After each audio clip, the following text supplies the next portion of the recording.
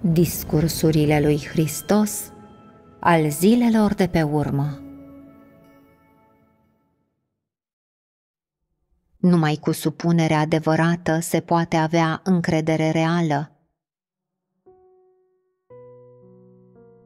Să avem părtășie despre o chestiune care nu este în conformitate cu noțiunile omenești. Moise a trăit în pustie timp de 40 de ani 40 de ani înseamnă cea mai mare parte a vieții cuiva. Dacă o persoană trăiește până la 80 de ani, 40 de ani înseamnă jumătate din viața sa. Ce fel de mediu de viață e pustia?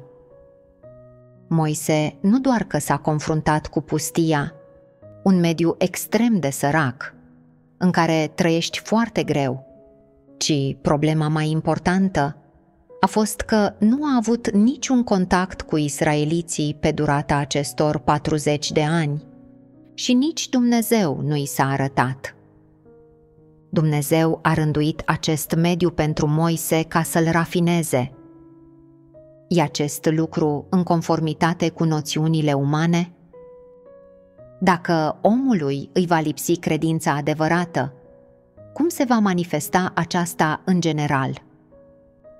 În primii doi ani, el va avea încă o anumită forță în inima lui și se va gândi, Dumnezeu mă încearcă, dar nu mi-e teamă. Îl am pe Dumnezeu.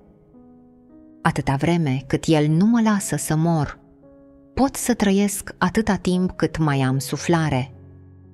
Trăiesc prin Dumnezeu am încredere. Trebuie să-L mulțumesc pe Dumnezeu.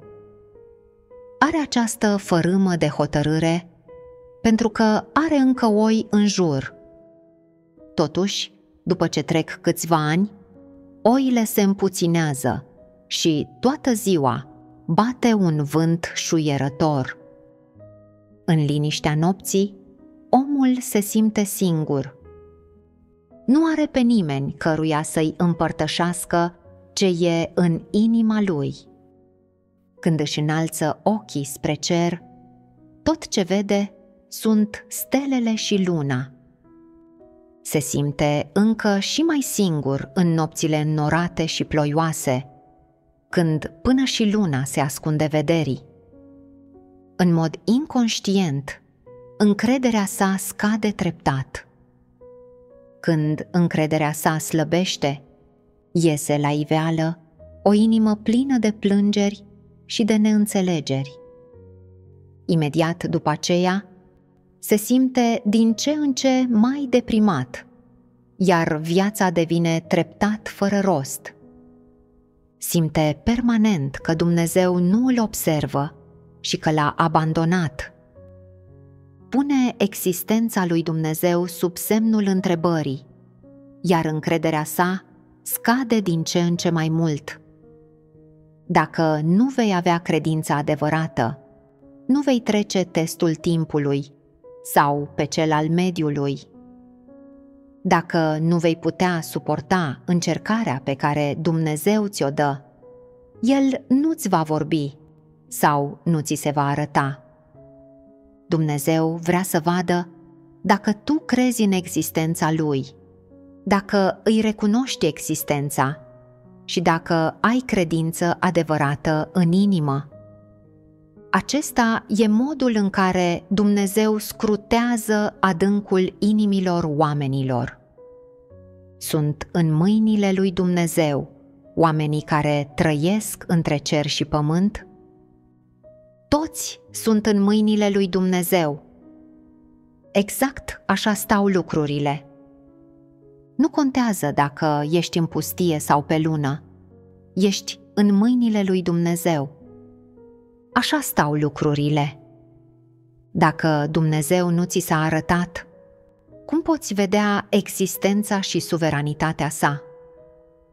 Cum poți permite să se fixeze în inima ta?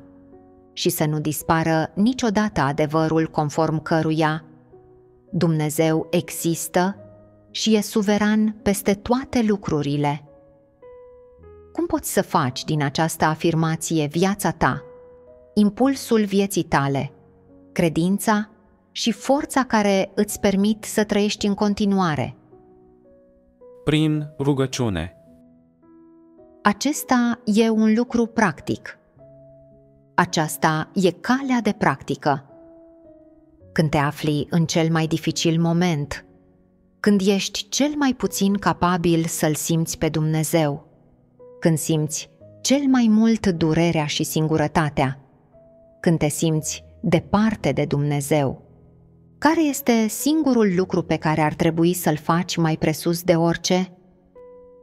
Să-l chemi în ajutor pe Dumnezeu. Să-l chemi în ajutor îți dă putere. Să-l chemi în ajutor îți permite să-i simți prezența. Să-l chemi în ajutor îți permite să-i simți suveranitatea.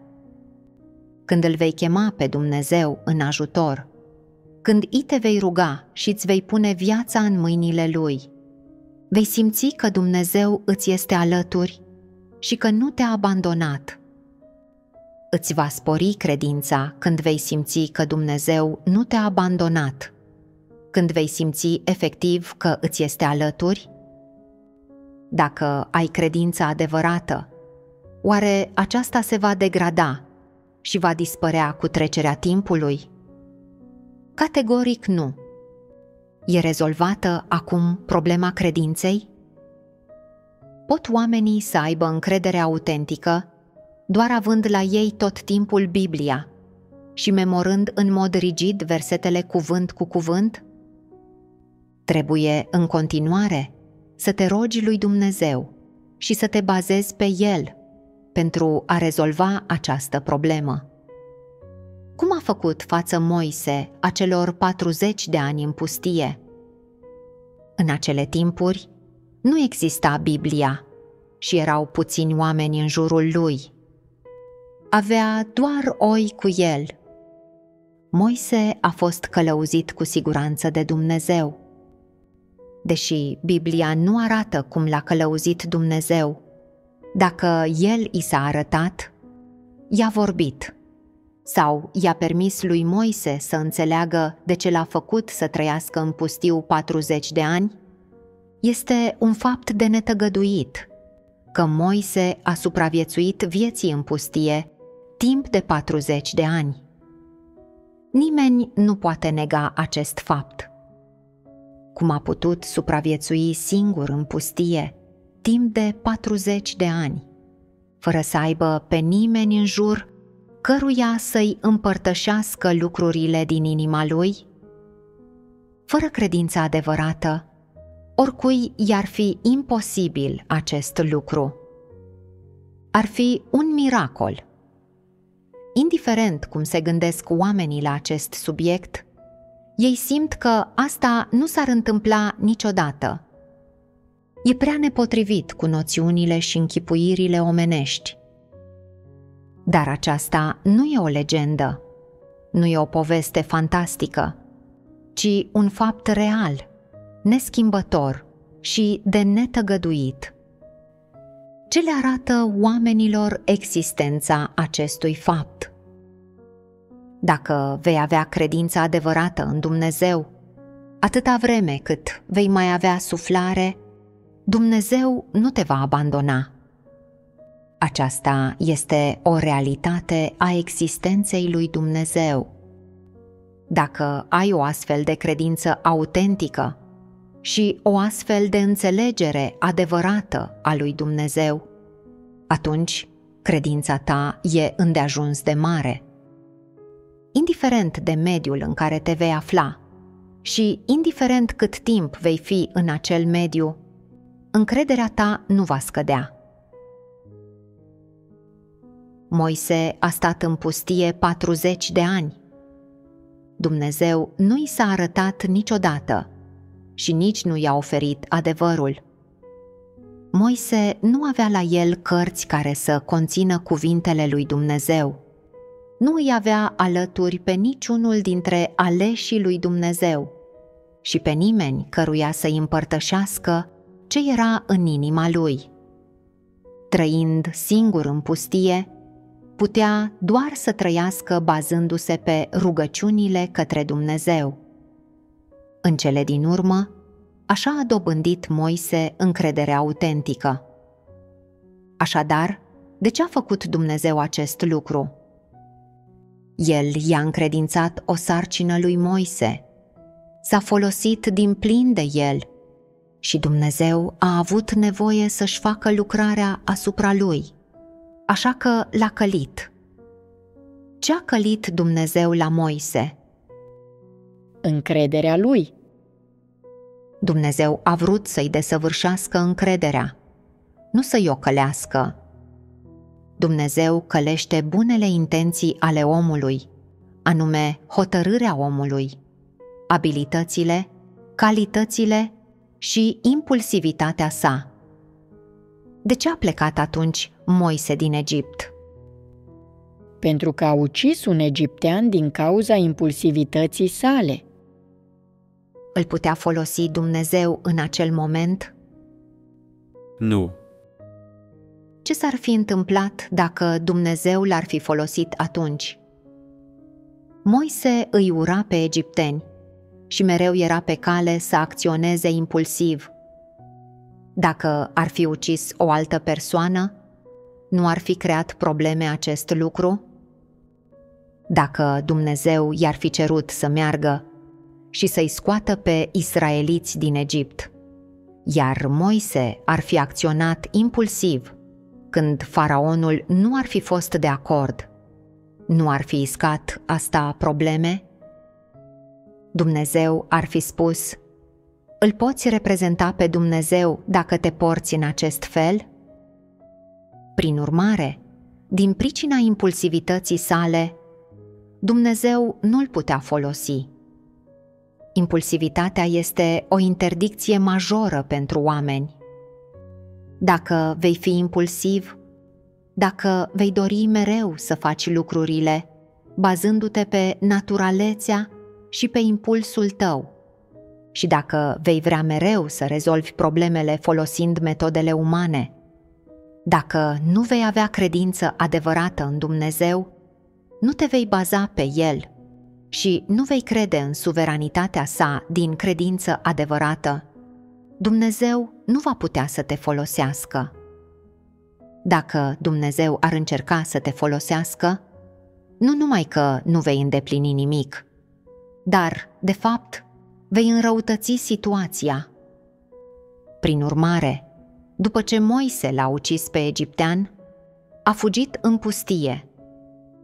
Dumnezeu a folosit mediul deșertului pentru a-i căli voința, impulsivitatea, bunele intenții, zelul și impulsul, precum și eroismul care îl făcuse să apere interesele poporului său și să lupte împotriva nedreptății.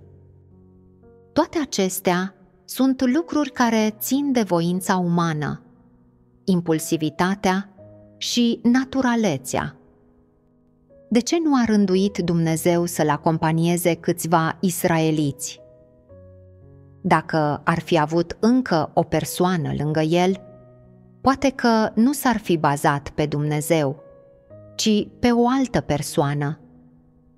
În cele din urmă, ce fel de persoană a devenit Moise după rafinare, într-un astfel de mediu? Putea să se supună lui Dumnezeu și să aibă încredere autentică. Aceasta arată că impulsivitatea sa naturală dispăruse. Când a ieșit din pustie, mai avea impulsivitate și eroism? Nu. Cum s-a dovedit acest lucru? Moise a spus că nu mai era un orator bun. Nu mai putea vorbi, așa că mai avea el încă propriile intenții și impulsuri? Nu. Privind lucrurile în acest fel, când Dumnezeu vrea să desăvârșească o persoană, să-i desăvârșească încrederea în Dumnezeu, indiferent dacă El va folosi această persoană sau nu, Dumnezeu va desăvârși înțelegerea acesteia despre adevăr și înțelegerea intențiilor lui Dumnezeu. Și îi va permite acestei persoane să îi se supună cu adevărat, întru totul și fără nicio întinare, fără lucrurile numite eroism uman, impuls, ambiție și pasiuni mărețe, fără impulsivitate și fără bunele intenții omenești și entuziasm, fără aceste așa numite crezuri.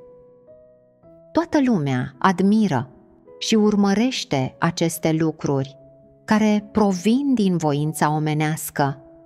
Sunt acele lucruri așa zise pozitive, bune și drepte în inimile oamenilor. Acestea sunt lucrurile după care toți sunt dispuși să trăiască. Acestea sunt crezurile oamenilor. Când oamenii nu le au, ei pot să se supună cu adevărat lui Dumnezeu și nu vor face lucruri și nu vor vorbi pe baza închipuirilor și a bunătății omenești. Când oamenii vor veni din nou înaintea lui Dumnezeu, vor avea mai multe elemente ale credinței adevărate în el.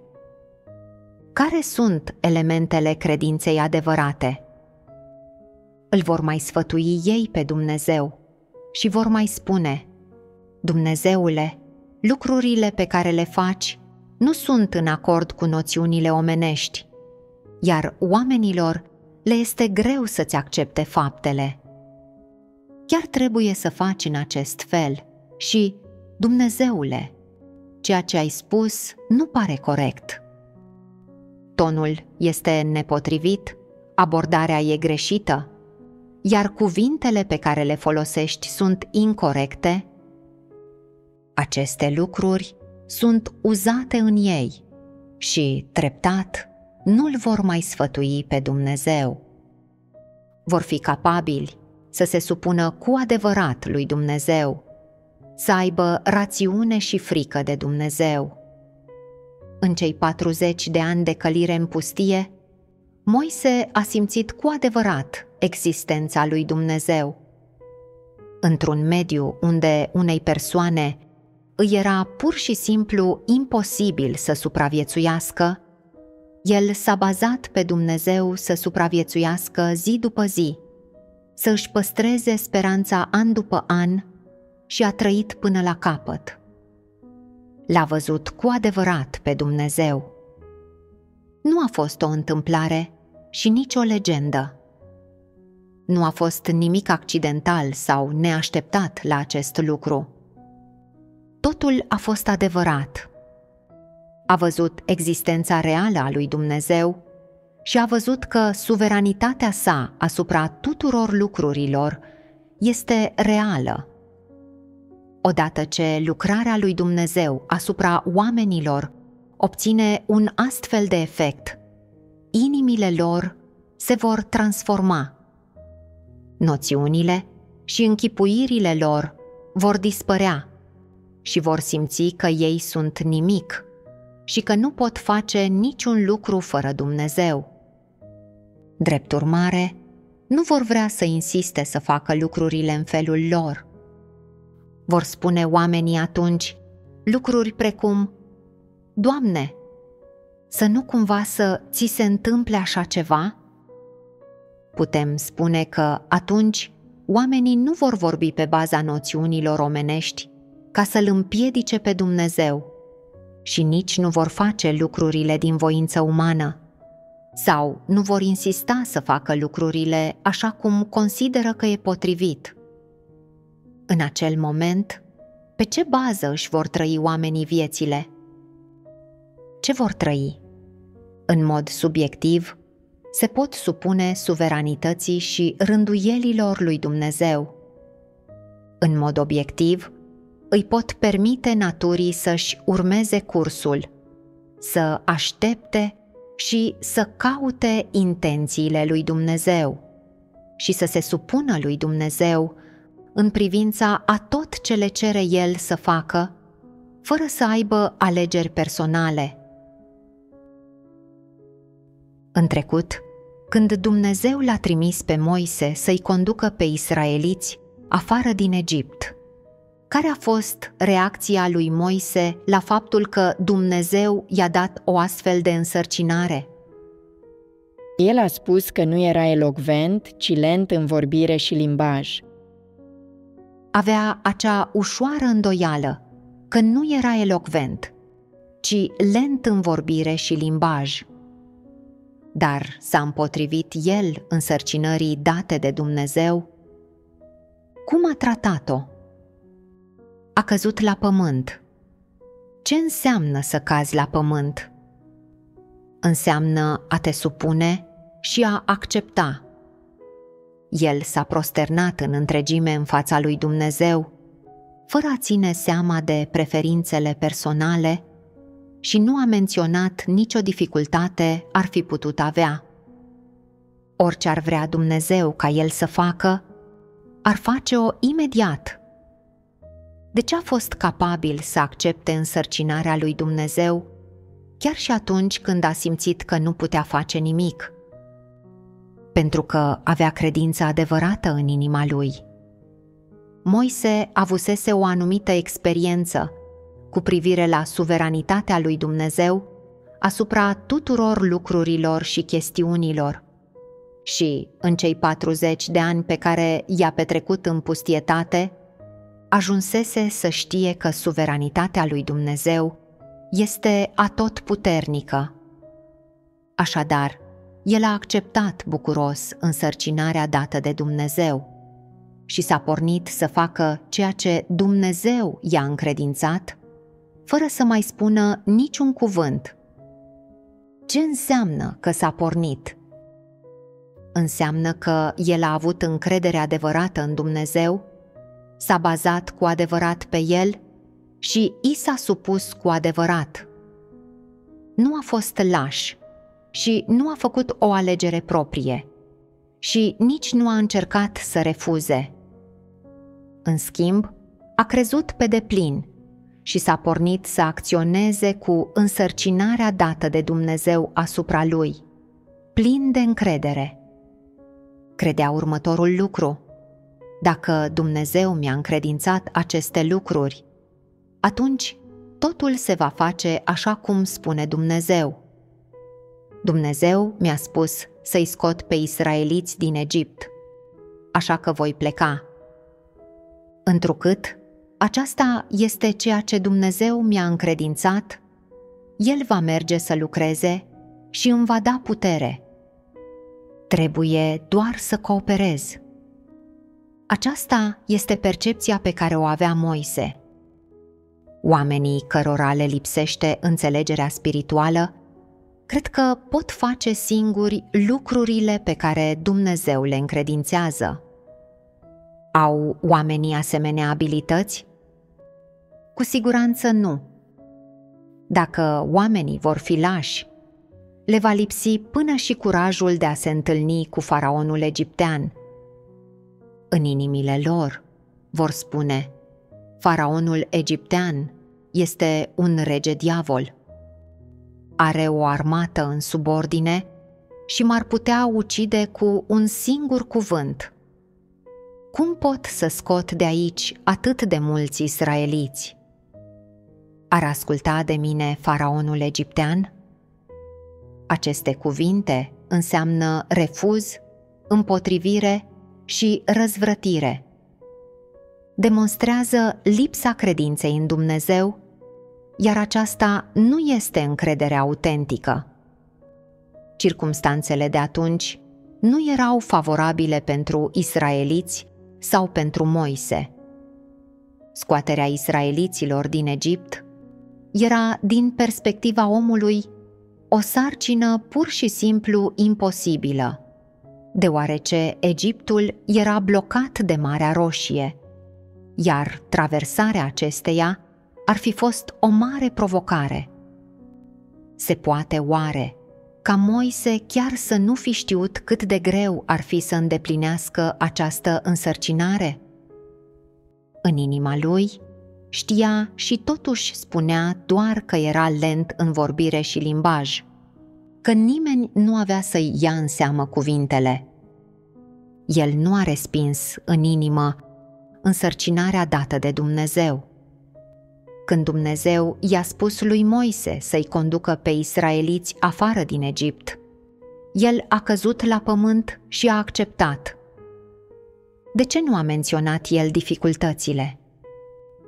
Oare pentru că, după 40 de ani petrecuți în pustietate, nu cunoștea pericolele lumii oamenilor sau starea în care progresaseră lucrurile în Egipt sau situația actuală a israeliților? Nu putea să vadă clar aceste lucruri? Asta se întâmpla? Cu siguranță nu. Moise era inteligent și înțelept.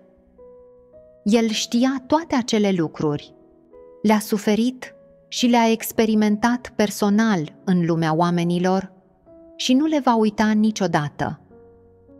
El știa prea bine acele lucruri. Prin urmare, știa cât de dificilă era însărcinarea pe care i-o dăduse Dumnezeu? Da. Dacă știa, cum a putut să accepte acea însărcinare? Avea încredere în Dumnezeu.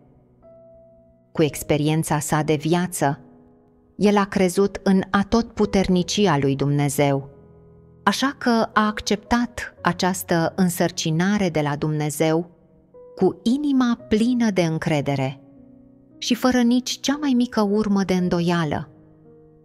Ce experiențe a avut? Spuneți-mi.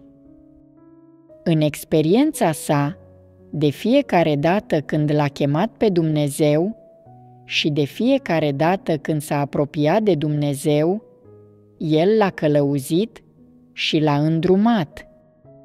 Moise a văzut că Dumnezeu nu și-a încălcat niciodată cuvântul și a avut încredere autentică în el.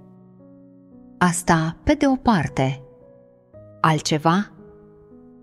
În timpul celor 40 de ani în pustie, Moise văzuse cu adevărat suveranitatea lui Dumnezeu când l-a chemat și s-a rugat lui. A fost capabil să supraviețuiască și să reziste până la capăt și a avut credință adevărată în suveranitatea lui Dumnezeu. Altceva? Dumnezeu lucrase deja mult asupra lui Moise. Acesta știa câte ceva despre cum Dumnezeu crease cerul, pământul și toate lucrurile, cum se folosise de un potop ca să distrugă lumea în timpurile lui Noe și despre Avram și alte asemenea lucruri. A scris aceste lucruri în Pentateuch, ceea ce demonstrează că ajunsese la cunoașterea acestor fapte ale lui Dumnezeu și că știa că Dumnezeu e atotputernic și omniscient. Prin urmare, credea că, deoarece Dumnezeu avea să-l călăuzească, sarcina sa avea să fie cu siguranță încununată de succes. Voia să observe faptele lui Dumnezeu, să vadă ce avea să împlinească Dumnezeu prin el și cum urma să-l ajute și să-l ghideze Dumnezeu. Aceasta a fost încrederea pe care a avut-o. Așa au stat lucrurile. Spunem, în cei 40 de ani petrecuți în pustietate, a putut Moise să experimenteze faptul că, în Dumnezeu, nimic nu este dificil și că omul este în mâna lui Dumnezeu? Foarte mult. Aceasta a fost cea mai adevărată experiență a lui. În cei 40 de ani petrecuți în pustietate, au fost atât de multe lucruri care reprezentau un pericol de moarte pentru el și nu știa dacă avea să supraviețuiască acestora. În fiecare zi avea să se lupte pentru viața lui și să se roage lui Dumnezeu pentru protecție. Aceasta a fost singura lui dorință. În acei 40 de ani, ceea ce a experimentat cel mai profund au fost suveranitatea și protecția lui Dumnezeu. Atunci, mai târziu, când a acceptat însărcinarea lui Dumnezeu, primul său sentiment trebuie să fi fost Nimic nu este dificil în ceea ce îl privește pe Dumnezeu. Dacă Dumnezeu spune că se poate, atunci cu siguranță se poate. Din moment ce Dumnezeu mi-a dat o astfel de însărcinare, El sigur va avea grijă de aceasta. El este cel care o va face, nu orice om.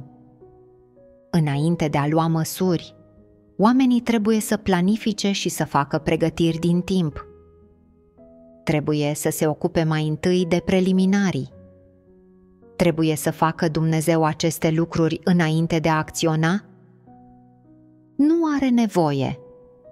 Fiecare ființă creată, oricât de influentă, oricât de capabilă sau puternică, oricât de frenetică, este în mâna lui Dumnezeu Moise avea încredere, cunoaștere și experiență în acest sens, așa că în inima lui nu era nicio fărâmă de îndoială sau teamă.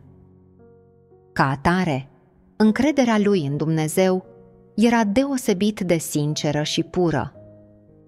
Se poate spune că era plin de încredere – Tocmai am vorbit despre ce este credința adevărată. Spuneți-mi, în cele din urmă, Dumnezeu vrea crezurile oamenilor sau credința lor adevărată? Ceea ce vrea Dumnezeu e credința adevărată a oamenilor. Ce este credința adevărată? În termenii cei mai simpli și clari, este încrederea reală a oamenilor în Dumnezeu. Cum arată încrederea autentică în practică? Ce legătură are cu toate activitățile din viețile reale ale oamenilor? Oamenii cred că Dumnezeu e suveran peste toate lucrurile și că pe toate le predestinează. Cred în suveranitatea lui Dumnezeu asupra tuturor lucrurilor cu care ei se confruntă și cred că nimic nu e dificil pentru el. Oamenii cred că orice cuvânt pe care Dumnezeu îl spune va ajunge să se întâmple. Reflectați mai adânc la aceste lucruri. În ce alt fel se va manifesta încrederea autentică? Încrederea lui Moise e diferită de cea a credincioșilor obișnuiți. Când a scris Geneza, el a crezut că Dumnezeu a creat cerul, pământul și toate lucrurile prin cuvintele sale, că acestea au fost înfăptuite prin cuvintele sale. A crezut că orice spune Dumnezeu că este, există cu adevărat și că lucrurile pe care Dumnezeu le poruncește vor ajunge să se întâmple. Credea că toate cuvintele sale vor ajunge să se întâmple și să fie îndeplinite. În această privință, avea încredere autentică în Dumnezeu. Nu a crezut doar în faptul că Dumnezeu există cu adevărat. El credea că cerul, pământul și toate lucrurile au fost create de Dumnezeu în sufletul lui, credea pe deplin că totul a fost săvârșit de cuvintele lui Dumnezeu și credea în atotputernicia sa. Dacă nu ar fi avut o astfel de credință în el, nu ar fi scris niciodată Geneza. Aceste cuvinte au fost de asemenea inspirate sau dezvăluite de Duhul Sfânt iar el putea înțelege cu claritate. Spuneți-mi, este un fapt existența lui Dumnezeu pentru că oamenii cred în ea? Nu. Ce fel de fapt este existența reală a lui Dumnezeu? Indiferent dacă oamenii cred sau nu în ea, Dumnezeu există. El există de la sine și este etern Cel puțin, credința în Dumnezeu trebuie să fie bazată pe această temelie. Dumnezeu nu există datorită faptului că tu îl recunoști verbal, sau nu ar exista dacă tu nu l-ai recunoaște. Mai degrabă, Dumnezeu există indiferent dacă tu crezi în El sau îl recunoști. Dumnezeu este veșnic creatorul și este veșnic suveran asupra tuturor lucrurilor. De ce trebuie oamenii să ajungă la această înțelegere? Ce poate schimba în ei? Unele persoane spun, dacă noi credem în tine, tu ești Dumnezeu, dar dacă noi nu credem în tine, tu nu ești Dumnezeu. Ce-i cu aceste cuvinte? Acestea sunt niște cuvinte răzvrătite și absurde. Dumnezeu zice, dacă tu nu crezi în mine, eu tot sunt Dumnezeu și sunt încă suveran asupra destinului tău. Nu poți să schimbi acest lucru. Acesta e un fapt pe care nimeni nu-l poate nega. Indiferent cât de mult îl neagă un ateu pe Dumnezeu sau cât de mult îi se împotrivește, soarta lui e în continuare sub suveranitatea lui Dumnezeu și el nu poate să scape de pedeapsa sa. Dacă accepti pe deplin orchestrările și rânduielile lui Dumnezeu și te supui lor și poți să accepti toate adevărurile exprimate de El, cuvintele lui Dumnezeu pot să-ți schimbe modul de viață, scopurile în viață și direcția urmăririi tale. Pot să-ți schimbe calea pe care o alegi și sensul vieții tale. Unii oameni spun din gură că ei cred în existența lui Dumnezeu și că El este suveran peste toate lucrurile și peste tot ceea ce este, dar nu pot să se supună orchestrărilor și rânduielilor lui Dumnezeu și nu pot să vadă că El face diferite rânduieli pentru fiecare persoană. Acești oameni vor întotdeauna să-și urmeze propriile ambiții și dorințe și vor mereu să facă lucruri mărețe, dar se confruntă cu obstacole repetate și sunt în cele din urmă descurajați, ajung distruși și răniți. Doar atunci se predau. Dacă ei ar crede cu adevărat în suveranitatea lui Dumnezeu, s-ar mai purta astfel? Le-ar fi imposibil. Cum ar trebui să procedeze? În primul rând, ar trebui să priceapă intenția lui Dumnezeu. În lucrarea lui Dumnezeu pentru mântuirea omenirii, El îi ajută pe oameni să se lepede de firile corupte și să se elibereze de influența satanei, să meargă pe calea cea dreaptă în viață și să trăiască după cuvintele lui Dumnezeu. Dacă oamenii vor înțelege realmente intenția lui Dumnezeu, îi vor urma cerințele în urmărirea adevărului și în străduința de a-l înțelege, obținând supunere față de suveranitatea și rânduielile lui Dumnezeu. Pot fi în acord cu intenția lui Dumnezeu doar în acest fel. Există mulți oameni care cred în Dumnezeu, dar nu sunt capabili să îi se supună vor mereu să își urmărească propriile dorințe, dar toți eșuează în final. Doar atunci spun ce este în inimile lor. Acesta e destinul și nimeni nu poate să schimbe ce a poruncit Dumnezeu. În acel moment, când zic din nou, cred în existența lui Dumnezeu și cred că Dumnezeu ține totul în mâinile lui sunt diferite aceste cuvinte de cele pe care le-au rostit înainte? Sunt mult mai practice decât doctrinele despre care au vorbit în trecut.